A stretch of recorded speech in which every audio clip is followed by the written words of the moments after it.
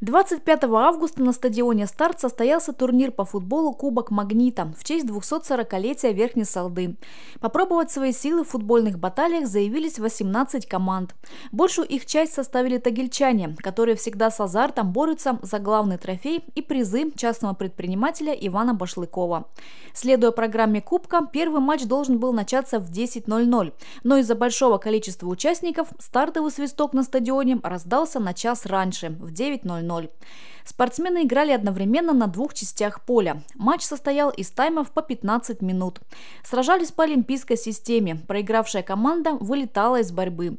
И к огорчению салдинских болельщиков в самом начале турнира завершила игру любительская команда из Верхней Салды «Магнит», уступив 0-3 спортсменам «Смычки». Другие команды, играющие за наш город, это сборные «Хаски», хоккеисты и любители, сражались достойно. И голы забивали, и атаковали, но в призеры пробиться не смогли. Третье место в Кубке «Магнита» заняла команда «Гальянский» из Нижнего Тагила, неоднократные победители Кубка «Магнита». Серебро уехало в Нижнюю Салду спортсменам завода химических емкостей. Большую часть игроков этой команды составили футболисты «Металлурга», играющие в первенстве Свердловской области. А победителем товарищеских состязаний, которых четвертый сезон подряд определяет серия пенальти, стали спортсмены нижнетагильской команды «Смычка».